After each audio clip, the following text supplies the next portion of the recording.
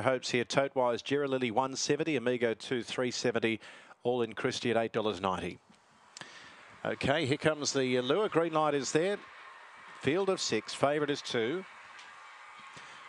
Racing Jerry Lilly away nicely. The favourites going to lead. Slingshot Storm into second. Then New Aussie and further back about two lengths away. Amigo two at intervals all in Christie and last of all Renito Bale up towards the turn. Jerry Lilly led out by about a length and a half as they make the final bend. Uh, Aussie the inside followed by Slingshot Storm and Amigo two. It's Jerry Lilly doing enough and wins it. Jerry Lily from Amigo two and then came you Aussie and further back then Slingshot Storm, Renito Bale and also all in Christie. 22 26 the run for Gerald Lilly.